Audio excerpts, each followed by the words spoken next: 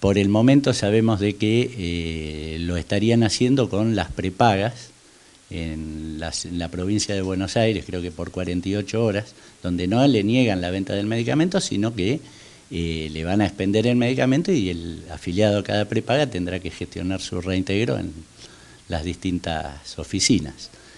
Eh, la preocupación nuestra es que esto llegue también a las obras sociales sindicales y a las obras sociales provinciales donde estaría corriendo el riesgo, eh, hay 50.000 puestos de trabajo de compañeros en, todo el país, y lo vemos con una preocupación muy grande porque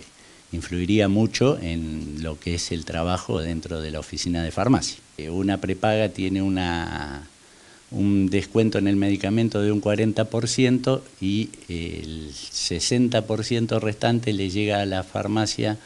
eh, así a, grosso modo, ¿no es cierto?, un 15% de reintegro y ese 15% le llega eh, de formas eh, diferentes, un 7,5% de pago en efectivo al